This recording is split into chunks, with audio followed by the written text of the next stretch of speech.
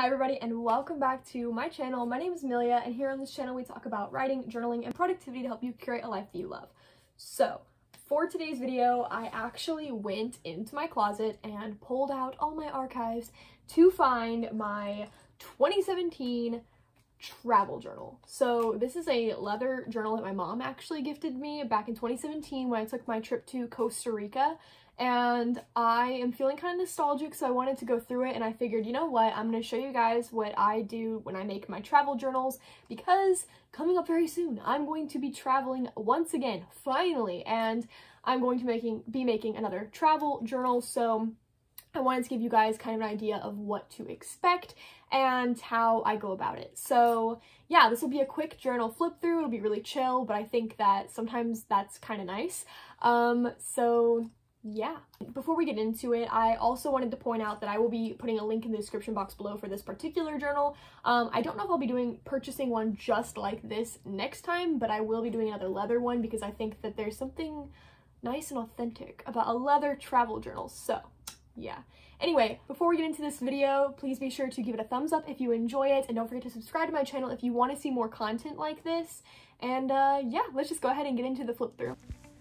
Alright, so we're going to go through this journal. I also want to point out that I'm going to be showing some pictures and videos from the trip to help kind of elaborate more on what was going on because the trip was just super exciting. So starting out, we have this title page that honestly is really sad because I didn't know how to make a title page properly.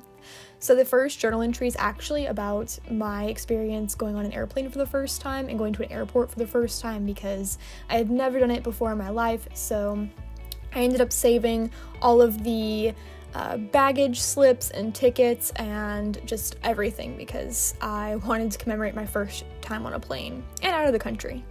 When we got to Costa Rica, the first thing I noticed was how colorful all the buildings were. Um, because here in America, everything is brown or gray, at least where I live in Indiana. And Costa Rica just had a lot of really colorful buildings. Also, we found out pretty quickly that the main staple food was beans and rice, and we had it pretty much every night. On the next day, we ended up going to a coffee plantation, which is why you can see little old me here at this coffee plantation, uh, because coffee is a big production crop in course in Costa Rica that they end up shipping out all over the world. So that was pretty fun.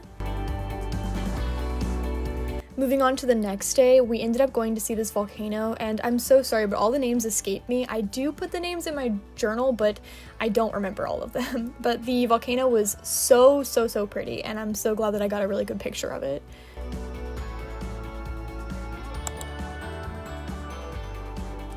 I ended up saving this wrapper from a Chiky cookie because I love Chiky cookies. It was like my favorite thing to buy at the stores in Costa Rica. And actually, coming home, um, I got asked by a security guard if I had any food in my suitcase, and I told him I did. I had Chiky cookies, and he must have thought I said something really weird because he was like, What did you say? And I was like, They're cookies. And it was kind of a weird experience because he was like, Oh, I guess I don't know what he thought I said, but yeah, that was interesting.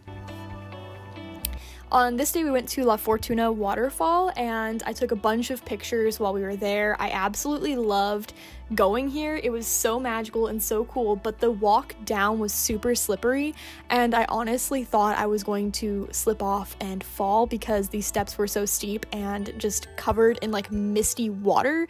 So that was a time, but here's a little picture of me at the waterfall.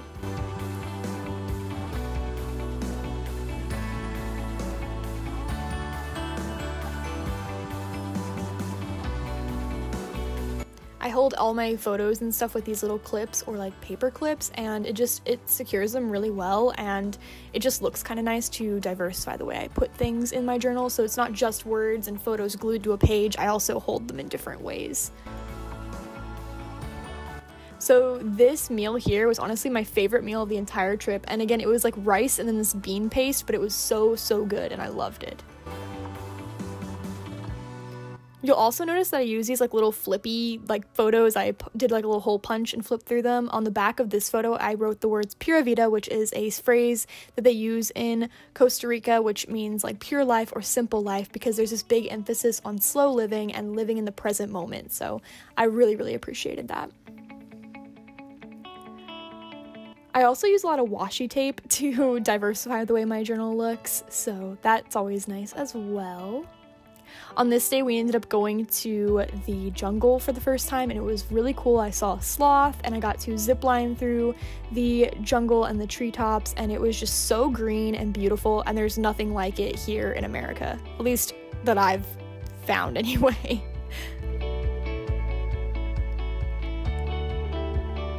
Love my little flippy things. I even put one of the wristbands against that back picture. So this here was we went to a school and there were these girls who did these dances and it's so pretty in slow motion, but in a few seconds I'm going to let you listen to the music for it. So that way you can kind of experience it.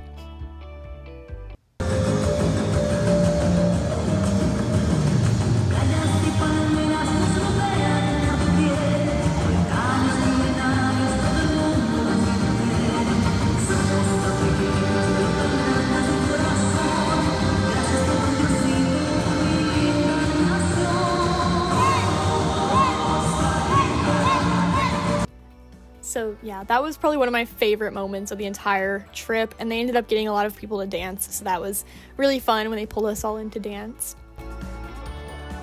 So then we ended up going to the beach, which was my first time ever being at a beach, and I saw a monkey, which was so cool. But in Costa Rica, monkeys are kind of similar to how people in North America experience raccoons. but yeah, I got to go to the beach, and it was just the best thing ever. I feel like I keep saying that in this this video. Towards the end of the trip, I ended up just taking a lot of photos and documenting what I had. It was kind of a bittersweet moment, but overall, I really enjoyed it and I was really happy that I could make this scrapbook. So, yeah, and that's it. Hi, so editing Amelia here. I totally forgot to film the outro, so thank you for watching this video. I know it was a pretty abrupt ending, but I hope that you liked my journal flip through, and if you want to see a better version of it, um, I will I can make one. I can leave one on Instagram and on Pinterest. Uh, so yeah, anyway, thank you for watching and I hope to see you again very soon.